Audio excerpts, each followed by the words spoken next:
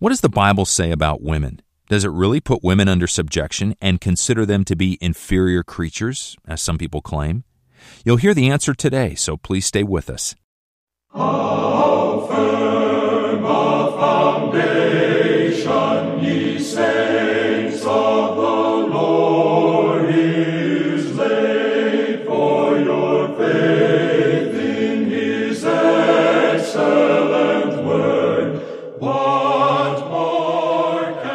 welcome you again to another session of questions and answers. The questions were answered by Dr. J. Vernon McGee over the course of more than 30 years as he taught through the Bible on radio. And this program is brought to you by the Through the Bible Radio Network. Now, here's our first question for today. It comes from Visalia, California, and this listener is puzzled about Dr. McGee's comment on Israel made during his study in the book of Zechariah. In the 12th chapter, verse 3, Zechariah says, In that day will I make Jerusalem a burdensome stone for all people. From his edited messages, here are Dr. McGee's comments. Even today, that city has become a burdensome stone. It almost broke up the common market and wrecked NATO, and those nations, including England, which have tried to rule it, have suffered because of it. And he added, frankly, I hope that the United States doesn't get too involved. So the listener says, The scripture tells us that the Lord will bless those who are friendly to Israel and curse its enemies. That doesn't seem to agree with your statement. Please elaborate on this. Well, I'll be very happy to tell you what we mean by not getting involved. It's true that every president since World War II has made it very clear in his running for office, and especially those that were elected, that they would continue the same relationship with Israel that we had at the beginning, and that is to defend their right to exist as a nation. And I candidly think that was a good thing to do. But I do believe that there's some very interesting things that should be noted. And the passage that you give is Zechariah 12, verse 2, and I should read verse 2 and 3. It says, Behold, I will make Jerusalem a cup of trembling unto all the people round about when they shall be in the siege both against Judah and against Jerusalem. And in that day will I make Jerusalem a burdensome stone for all people.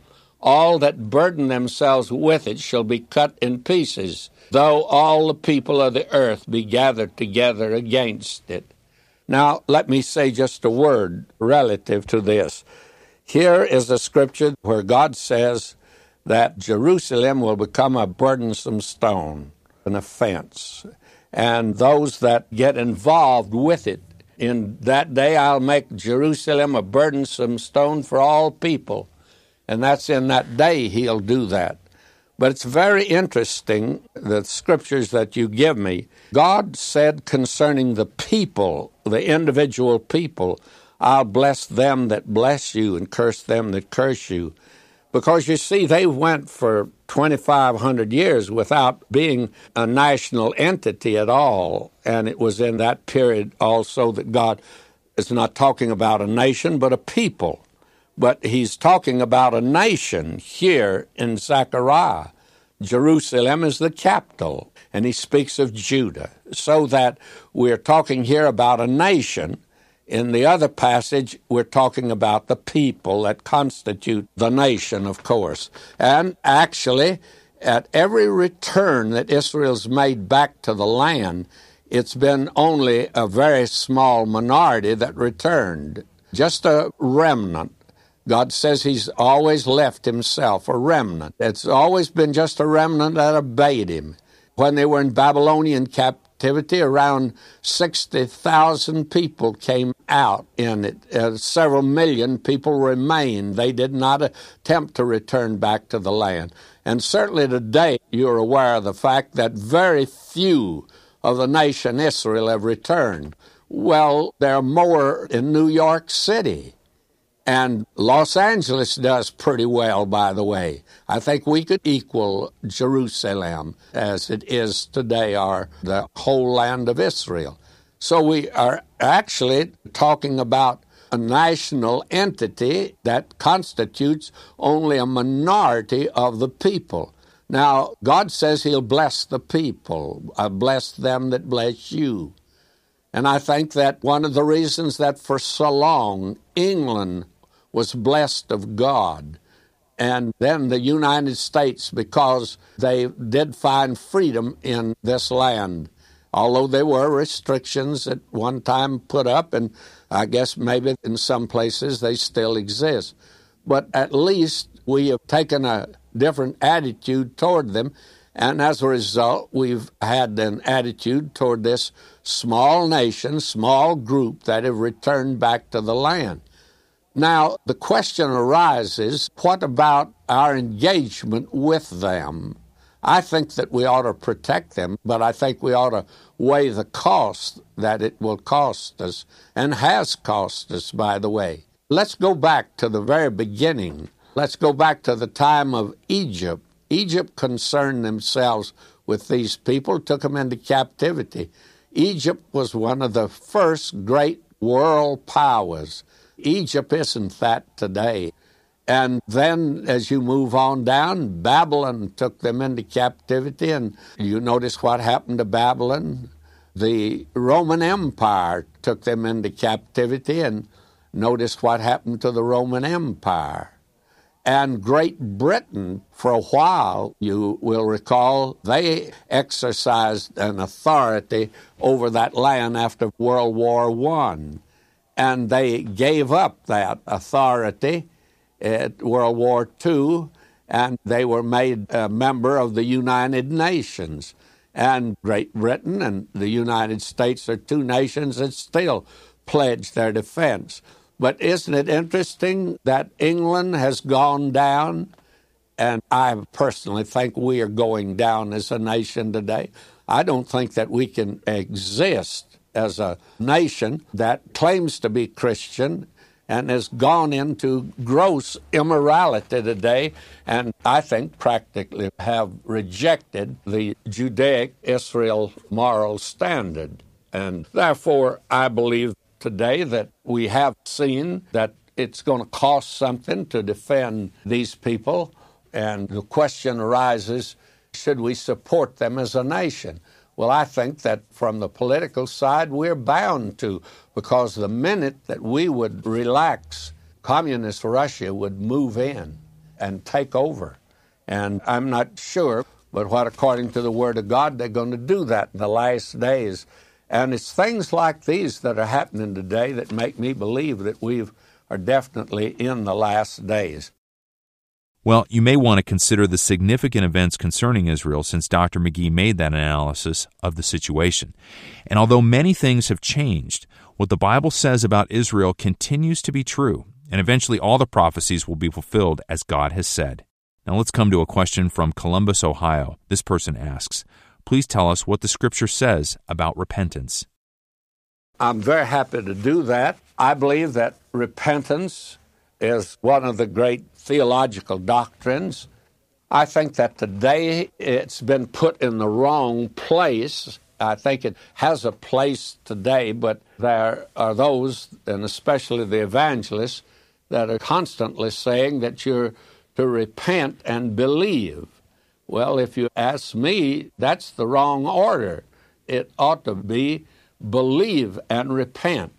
Now, if you'll notice through Scripture that it's quite interesting that it's God's people that are always called to repentance.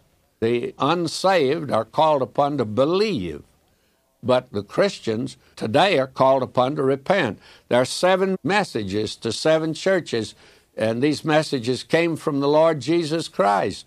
And he says to all these churches, repent. Repent is the business of those that claim to be Christian. And believe me, at this present moment, there should be some repentance in our churches. I do not know about you, but this psychological preaching today that tells us that we should have self esteem, and believe me, you don't have to tell some of the saints and some of the preachers that they need self esteem. They've got it. They have a super supply of this matter of self esteem. Well, that's, you see, not really the way God has given it to us. Isaiah, when he got in the presence of God, he says, I'm undone. I'm a man of unclean lips, and I dwell in the midst of a people of unclean lips. And I feel like saying, Where's your self esteem, Isaiah? Well, when he got in God's presence, he lost it. Because God's people, if today we could get in God's presence, we'd lose self esteem and we'd be down on our faces repenting. And that is what we're told. Paul says very frankly to the Philippians, a gr- group that he loved, he says, Let each esteem another better than themselves. And today, that we are to take the place that we're lost sinners. And if there's one thing needed by the church today, it's some good old fashioned repentance. And that is the thing you're not hearing today at all. And my friend, if we had repentance, we'd solve some of these problems that's in the home today. We'd have better husbands and fathers and better wives and mothers than we have. Repentance is for the believer. Now, does it figure in when an unsaved person comes to Christ? And yes, it does. It certainly figures in there. Let me give you an example of what I'm talking about. Repentance means change of mind, or change of the heart. Be going one way and turn and go the other. When Paul wrote to the Thessalonians, he said to them, says, How ye turn to God from idols to serve the living and true God and to wait for His Son from heaven. You've got all of the theology you need in that statement right there. You turn to God. How did they turn to God? Paul went to Thessalonica and preached Christ to them, the gospel, and they trusted the Lord Jesus as their Savior. And now he said, You have turned to God from idols. Well, they were gross idolaters in Athens. The Athenians worshiped everything that moved and a lot of things that didn't move. They worshiped. They worshiped the sun, moon, and stars, and they had enough gods on top of Mount Olympus to fill any stadium in this country today. Believe me, they were not in short supply on gods that they worshiped, and they were given over to idolatry. And Paul accused them of that. And they put an idol to an unknown God just in case they happen to miss one.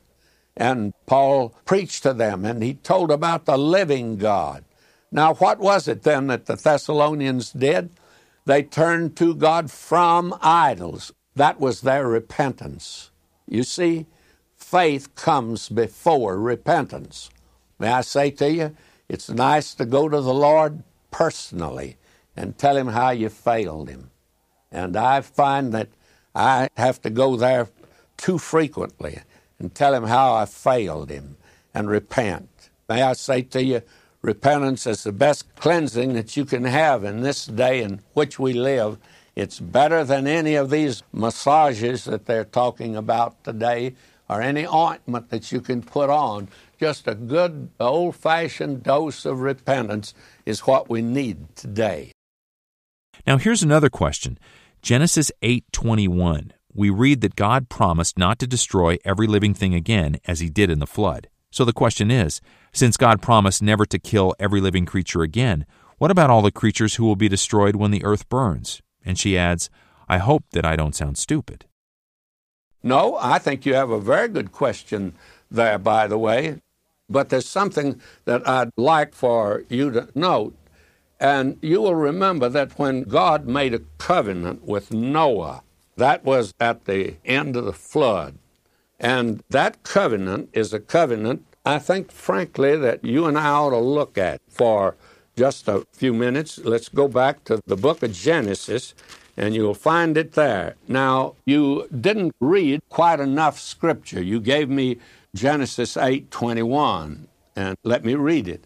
The Lord smelled a sweet savor, and the Lord said in his heart, I will not again curse the ground any more for man's sake, for the imagination of man's heart is evil from his youth. Neither will I again smite any more everything living as I have done.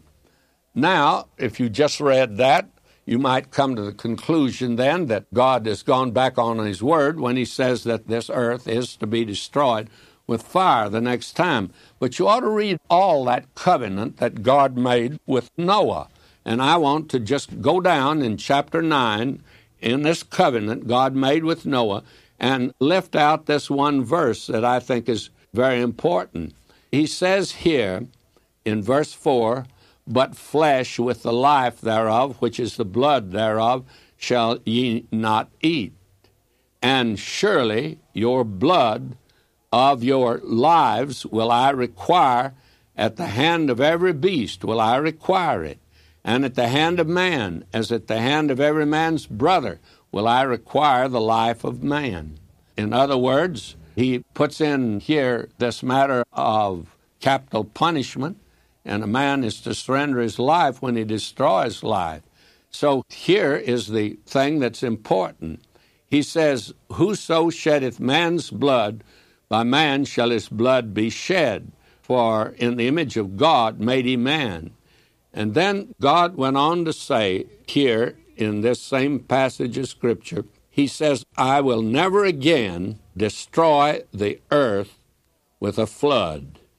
Now, may I say to you, He says, I establish my covenant with you and with your seed after you, and that never again will He destroy the earth with a flood. Verse 11 And I will establish my covenant with you. Neither shall all flesh be cut off any more by the waters of a flood, neither shall there any more be a flood to destroy the earth. But he didn't say that it wouldn't be done by fire the next time, you see. So you have not found a contradiction, by the way, in the Word of God.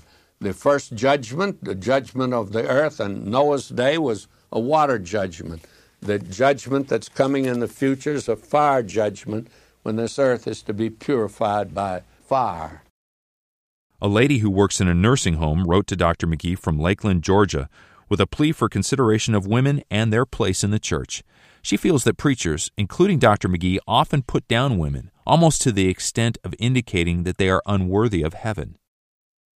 Well, may I say to you, if I've said anything that has given you the impression that I don't think there's any hope for women, well, I've certainly given a wrong impression because that's not true of Scripture at all. There are several things maybe I should mention now in connection with this. Did you know that the hope of the world was one time in the hands of a woman?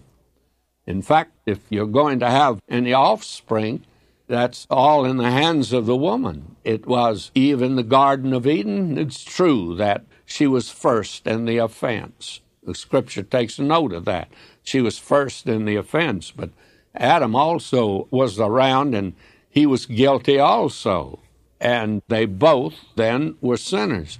But did you know that the only way God had of bringing the Savior into the world was through a woman and without the help of any man? If you want to say that woman brought sin into the world, then be sure and say that she brought the Savior into the world. Now, we criticize the Roman Catholic Church for what we believe that they do in exalting Mary as the mother of God, but we need to recognize that she's mother of the human side of the Lord Jesus. She's the mother of Jesus. And the angel was very careful to say, You're going to call his name Jesus because he's going to save his people from their sins and he's Jesus because the angel said it's Emmanuel, God with us. He was God manifested in the flesh. And so she brought Jesus into the world. But in her Magnificat, she makes it clear that she calls him her Savior. And she needed a Savior just like any other person needs a Savior. Now, women have occupied a high position in Scripture. And it's true there have been several bad ones on the pages of Scripture, but there have been a great many more good ones. Take the mother of Samuel, for instance, a real godly woman. And I believe that the mother actually of Solomon was a godly woman. It was David's sin. You noticed in the genealogy in Matthew, Bathsheba's name is not even mentioned. It says of her that had been the wife of Urias. God protected her because it was not her sin. And then, if you notice the list of the kings of Israel and Judah, and in the kings of Israel, there's not a good one. But if you go through the ones of Judah, there are several of them that are good kings, and every one of them that's a good king, his mother's name is mentioned. The mother was responsible, not the father. I believe and agree with you that there ought to be today rethinking of the place of women in the church because we've come up now with so many viewpoints and some of them very unscriptural indeed. I do not believe that a woman should be a preacher because I think she's got a better job than any preachers ever had. The ones that have been great men have had great mothers. And so the scripture doesn't give any idea at all that any woman is lost because she's a woman. That's not true at all. And the many godly ones. You remember that Paul talks about the godly mother that Timothy had, and he had a godly grandmother and he mentions those things. Paul said in one place, he said, Help those women that labored with me in the gospel. And that is quite interesting also because they had a place in the early church and they served God. So I'll be frank with you, I don't think I could say any more, or at least I can't say any more on this question and answer program. As Dr. McGee goes through the Bible in five years, he covers every book and chapter, but not always every verse, and sometimes he'll say just a few words about some verses. Unfortunately, that's what he had to do in order to get through all 66 books in about 260 weeks. So, a listener in Fresno, California wondered whether he had covered John 21, verses 18 and 19. She says, I don't understand these verses. If you explained them before, I must have missed it. And I can assure you that we did deal with those two verses that you refer to, but I'll turn to them. It's John now 21, the Gospel of John, verses 18 and 19, and they read as follows Verily, verily, I say unto thee, when thou wast young, thou girdest thyself and walkest whither thou wouldest. But when thou shalt be old, thou shalt stretch forth thy hands, and another shall gird thee and carry thee whither thou wouldst not. Thus spake he, signifying by what death he should glorify God. And when he had spoken this, he saith unto him, Follow me. Now he's talking to and about Simon Peter. And what he's saying simply is this when you were a young man, a young fisherman on the Sea of Galilee, well, the Sea of Galilee was yours and all the surrounding countryside. And as a young man, you could roam here and there, you could fish where you wanted to, and you gird your own loins. And that is an expression that was used then because they wore a garment that was like a dress and then girding their loins, they would pull it up around their hind quarters and tie it. And they would gird themselves, gird themselves to work or gird themselves to go where they wanted to. Now he says, Simon Peter, you're going to get old, and somebody else is going to gird you. But this time, they're going to take you to a place that you didn't want to go to, and that is the place where he died. Simon Peter was crucified as the Lord was crucified. And tradition says he asked to be crucified upside down. I personally don't see the meaning in that, but nevertheless, that is the tradition that has been given. But he's telling him now that he is to be crucified. And that, is, of course, he'll be taken where he doesn't want to go because although he said to the Lord Jesus, he says, I'll lay down my life for thy sake. When the day came and the heroics are over, Simon Peter was there ready to die, but it wasn't something that he relished. It wasn't something that he looked forward to by any means. But he's telling him that he's to die that kind of a death. In other words, when he was young, he could go where he wanted to, but now in death, somebody else will take care of that for you. And you'll not have even that freedom at all that even comes in death. With that, we must conclude another question and answer program. If you'd like more information on many of these issues and more, then call us right now and leave a message requesting our resource catalog. And when you call, be sure to include your name, address, and the call letters of this station. Today's broadcast is available for purchase on a single CD, which is a really convenient way to pass on Dr. McGee's teaching to others who you think might be interested in learning what the Bible has to say about their questions and problems. And by the way, are you listening to the Through the Bible radio program? You know, it's Dr. McGee's five year study that goes through the whole Word of God, and it can be heard on this station every Monday through Friday. Notes and outlines are available to follow along with these studies when you ask for them. If you'd like to contact our offices for the catalog, ask for the notes, or request to be on the mailing list, call 1 800 65 Bible Monday through Thursday from 6 a.m. to 3 p.m. Pacific Time, or write to Questions and Answers in the U.S. Box 7100, Pasadena, California 91109. For those in Canada, Box 25325, London, Ontario N6C 6B1 or visit us online at www.ttb.org. Now, until this same time next week, we pray that our God will answer all your questions and solve all your problems. This program's been brought to you by the faithful friends and supporters of the worldwide ministry of Through the Bible Radio Network.